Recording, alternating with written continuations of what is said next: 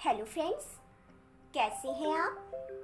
स्वागत है आपका एहसास हमारे चैनल पर। सो so फ्रेंड्स आज की रेसिपी है पोटैटो वेज रोल बनाना।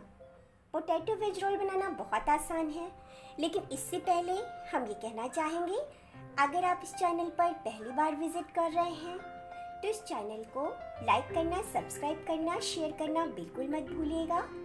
और जिन्होंने सब्सक्राइब किया है, उनका बहुत बहुत धन्यवाद।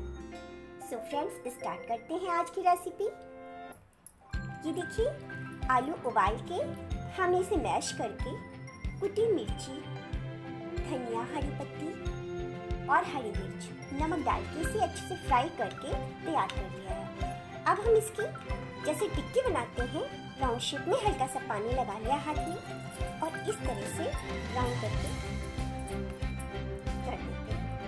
फिर इसे तवे पे गरम करके तेल लगा के इसे अच्छे से सेक लेते हैं, जैसे हम लोग टिक्की बनाते हैं। जब तक ये टिक्किया आलू की इधर पक रही है अच्छे से, ये देखिए, तब तक हम इसे जो चटनियाँ अवेलेबल की जाती है इसके साथ, वो बता देते हैं आपको। ये चटनी हमने बनाई है, जो आम की कली होती है, उसमें चीनी और हल्का सा नमक मिला के इसे मिक्सी में पीस लिया है।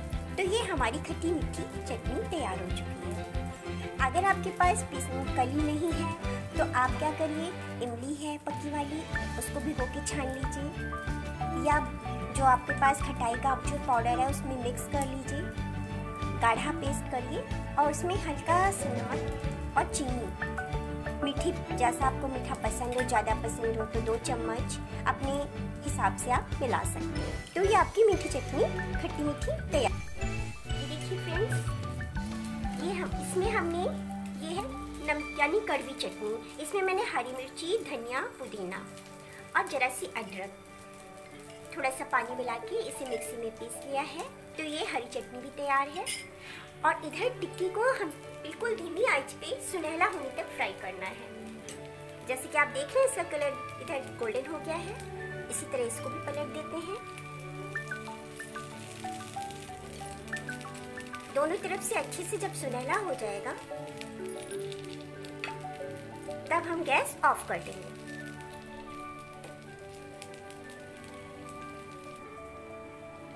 दोस्तों आप वेज रोल चाहे मैदे की बनाइए, चाहे गेहूँ के आटे का। आटा गूंथते समय आप इसमें हल्का सा नमक डाल दीजिएगा और हल्का सा तेल। तो इससे रोटियाँ मुलायम भी बनेंगी आपकी और आप इसे अपने हिसाब से लोई, जितना बड़ा आपका तवा हो, उस हिसाब से लोई ले सकते हैं और पतली सी रोटी बेल लीजिए।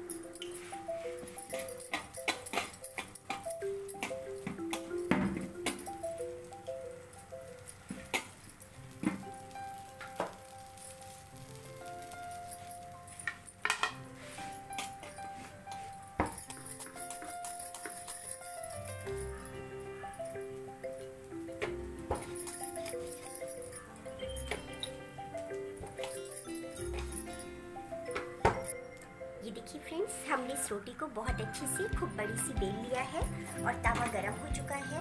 सो अब हम इसमें अच्छे से फैला के सेक लेते हैं। और इधर देखिए दोस्तों, ये टिक्की भी बहुत अच्छे से गोल्डन ब्राउन हो चुकी है। इसे बिल्कुल धीमी आँच पे अच्छे से ऐसे गर्म होने के लिए हमने रख दिया है, ताकि ये गर्म रहे।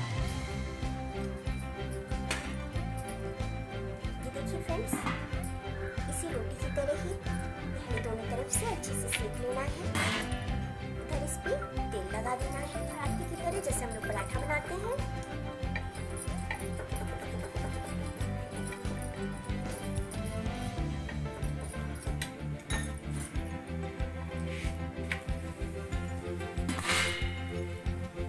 दोनों तरफ़ से पकने के बाद अच्छे से तेल लगा के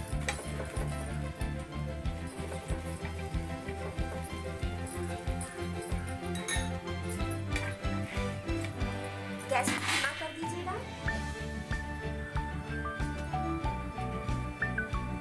ये देखिए फ्रेंड्स टिक्की पक गई है। हमने इसे हल्का सा पुश करके ऐसे लेके इसे इस पर रख लिया है रोटी में। और इसको चिमटे से हल्का सा पकड़ लीजिए, ताकि ये भागे नहीं। स्लिप ना करें और इस आलू को अच्छी तरह सब पे फैला जब ये सब जगह अच्छे से फैल जाए, तब आप इस पर एक एक करके मीठी वाली चटनी। अच्छे से डाल दीजिए। इसके बाद ये हरी चटनी।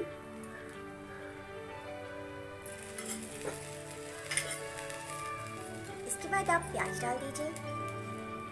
आप बंधा भी डाल सकते हैं, गाजर भी कस के डाल सकते हैं। आपके पास जो सब्ज़ियाँ अवेलेबल हो घर पे, वो अच्छे से इसमें डाल सकते हैं। और डालने के बाद इसे आप रोल करते चलिए। इस तरह से पकड़ते चलिए। हल्का सा सपोर्ट देते हुए। फिर इस तरह से तो बनाने के बाद आप इस पर प्लेट में रख दीजिए। अब से दोस्तों, बच्चों को बहुत पसंद आता है ये पोटैटो वेज रोल हो या दाल का वेज रोल हो।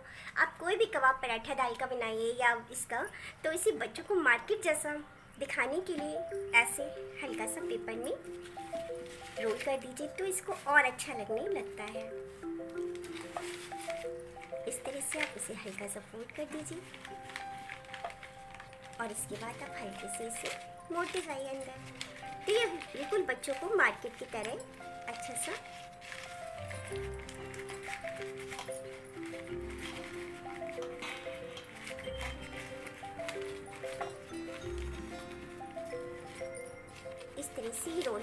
बाद आपका खुलेगा भी नहीं और बच्चों को खाने में भी अच्छा लगेगा।